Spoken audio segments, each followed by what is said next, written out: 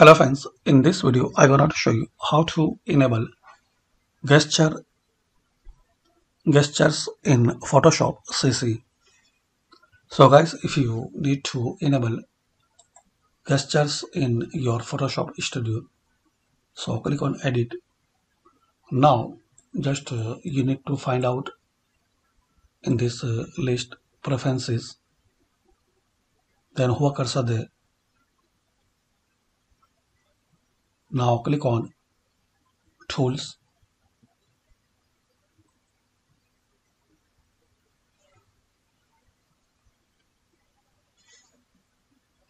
So here you will see option enable gestures. Just you need to select this box to enable gestures. Select this box then click on ok. That's it. So guys like this you can enable gestures in photoshop cc thanks for watching this video.